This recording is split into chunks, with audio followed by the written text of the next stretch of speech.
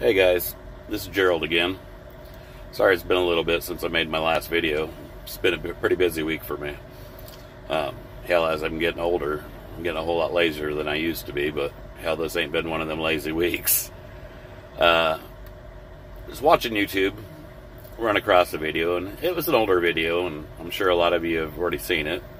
Like I said, I don't follow YouTube a whole lot, or I hadn't, and so a lot of the videos that I run across are new to me. But this one here kind of made me wonder, or made me think that a lot of you might not know how to handle this situation.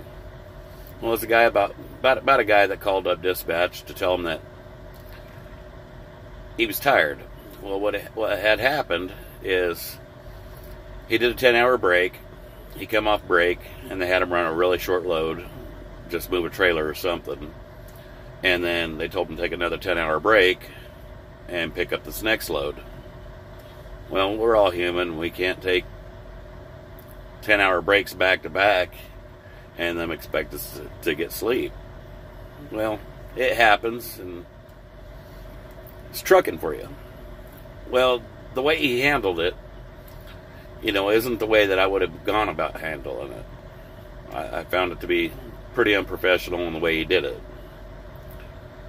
So, what had happened is he just called dispatch, told him he was tired, he couldn't make the run, he he done started the load, and got a couple hours down the road and was falling asleep, and he called dispatch, as he's videotaping all this, mind you, and dispatch was, well, night dispatch was telling him that he's got to get that load there, he's got to get that load there, and I just don't, like I said, I don't like the way he handled it.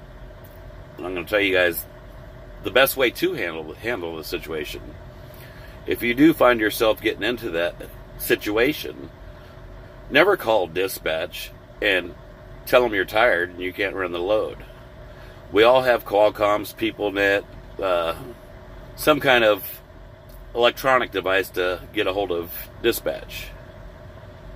What he should have done is he should have sent a Qualcomm message to his dispatch and told him you know, I'm getting tired and I feel unsafe to drive. Then, after he sent that message, he could have called them. Well, they probably would have told him the same thing. Hey, you got to get that load there. You got to get that load there. Well, if that's the case, his next response to them should have been, "Hey, I'm glad to take this load there. I, I, I told you I'm tired, and I'll I'll do whatever you need me to do, but I need you to send me a message back on the Qualcomm saying you would like me to take this load even though I'm tired. I guarantee you guys that's going to be the last last thing you hear from from from them. They're not going to tell you on the Qualcomm on a message that you've got to do anything unsafe. It's not going to happen because once they put that message on the Qualcomm, they take liability and they're not going to take liability. This happens a whole lot less than it used to happen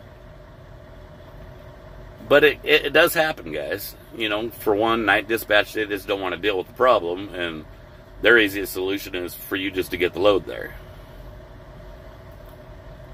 But if you go to your safety manager, he's gonna he's he's gonna have their butts. You know, it's not a safe thing to do, and this goes this goes for a lot of situations. You know, it's not just if you get tired. If the roads get so bad and you can't run it, send the message on the Qualcomm, tell them the roads are getting unsafe and I do not feel safe to drive. If they still want you to drive, ask them to send you a reply on the Qualcomm saying that they want you to drive even though you feel unsafe. That's going to be the last thing you hear. Issue solved. No more problem.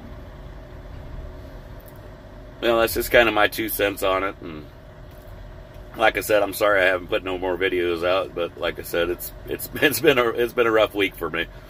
I don't run as hard as I used to, but man alive, I'm enjoying this rest. Well, I'm going to make this video short as usual. Please subscribe to my channel if you haven't already done so. Let me know what you'd like to hear. I've got plenty of experience, guys. If I don't have the answer, I'll find the answer. And if I can't find the answer, I'll make up a good answer.